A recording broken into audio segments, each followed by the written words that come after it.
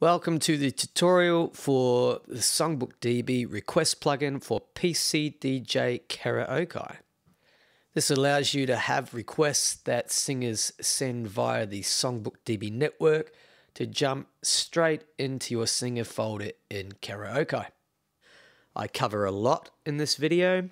If you want to skip through parts you already know, I have the times indexed below the video on YouTube. Now, as I'm recording this, we are still in beta testing for this product, so make sure you check back here for any updates to the video that show any tweaks or new features that we've added. Also, if you are completely new to Songbook DB, go check out the quick start video first before you watch this one. That will get you up to speed with how Songbook DB works and how all the pieces come together. If you've already done that, then let's get started with a quick overview of how the plugin and Karaoki work together. You have the Songbook DB plugin for Karaoki on your computer. You also have Karaoki on your computer. You make a couple of changes to Karaoki settings so that it knows you want to use the plugin. You'll only have to do this once. The next time you're at a gig, and you open Karaoki, the plugin will automatically open also. You switch requests on in the plugin, select your venue, and then requests begin to arrive from singers.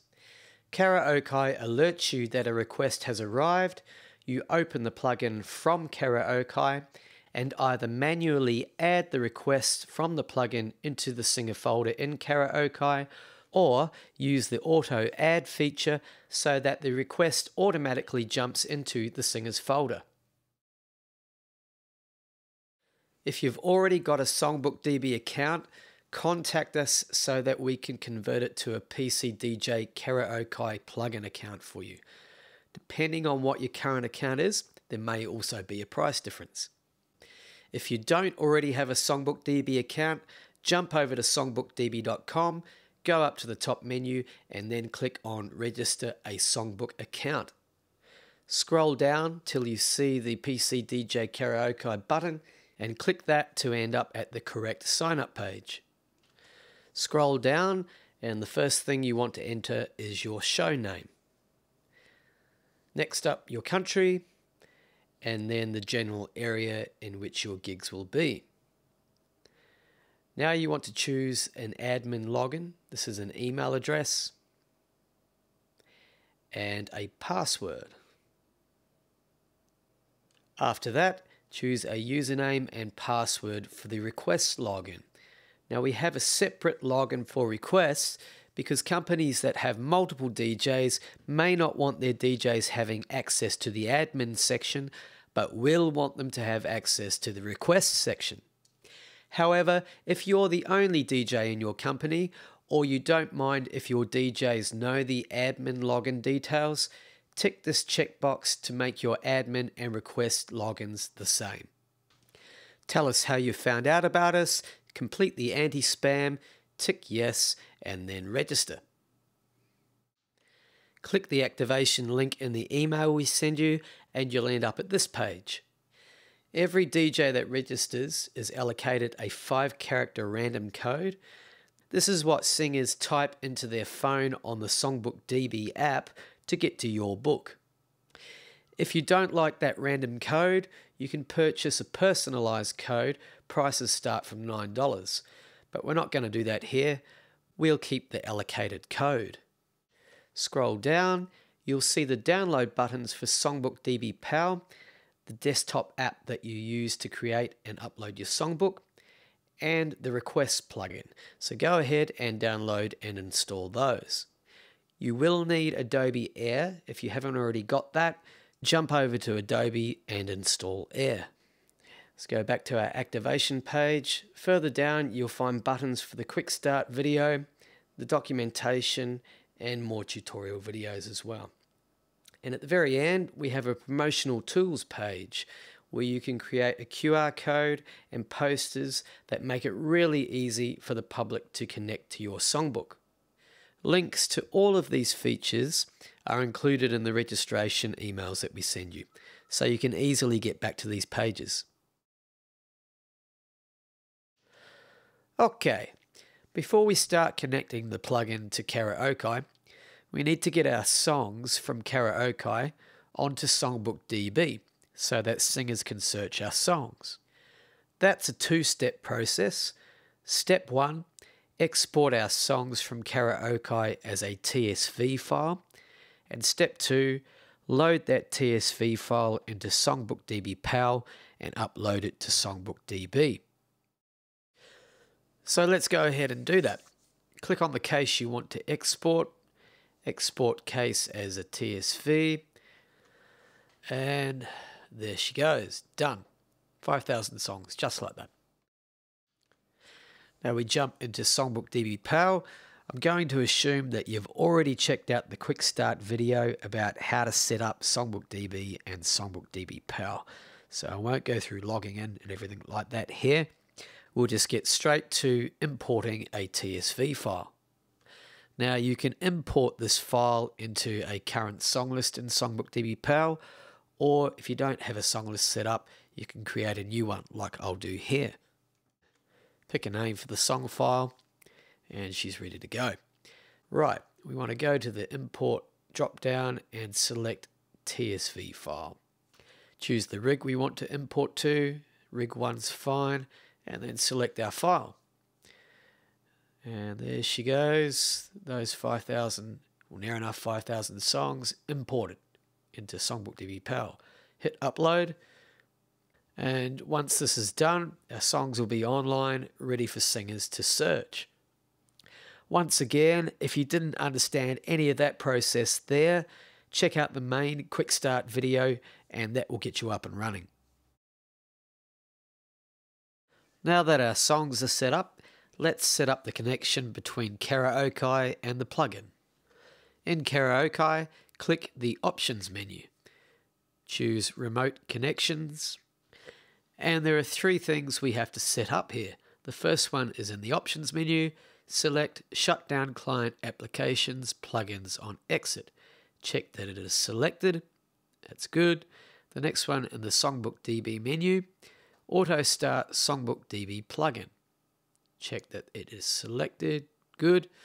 And lastly, hit the Remote Enable button. The plugin should now open. Right, I'll just bring it into view.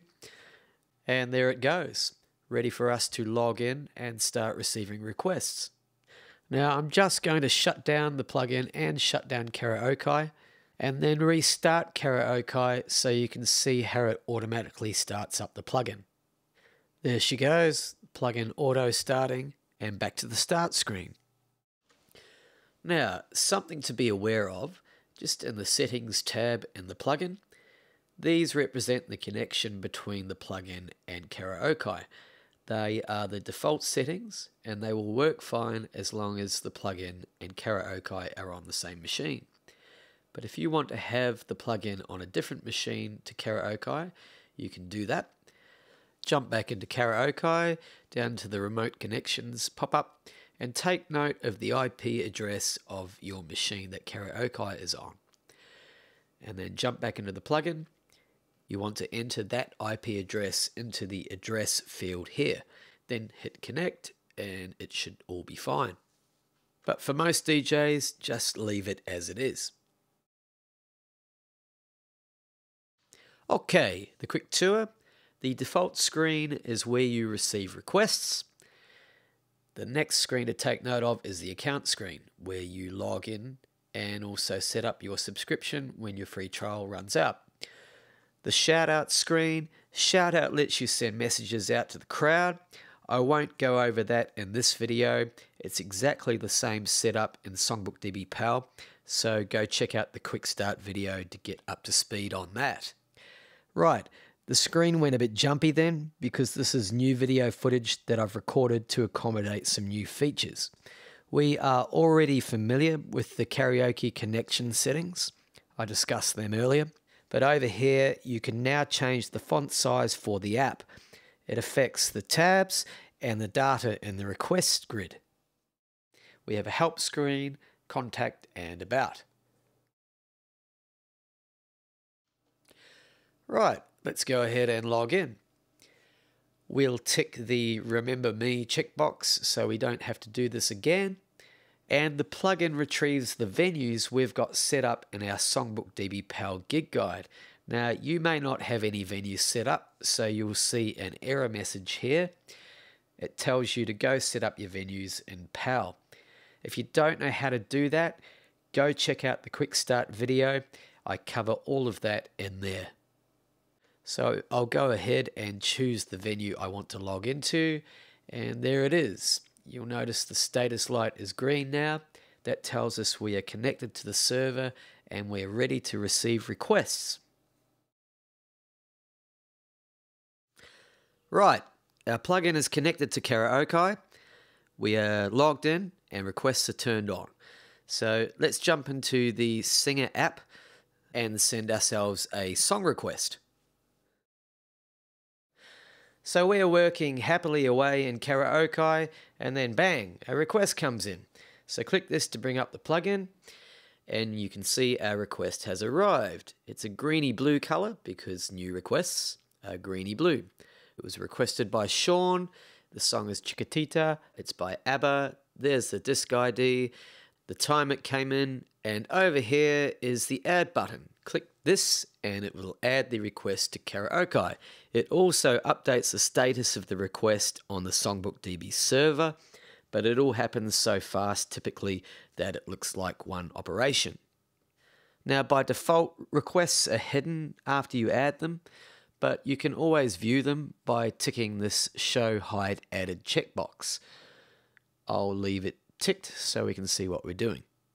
So let's go check out the request in Karaoki. You get to Karaoki by clicking the big blue button in the middle of the plugin.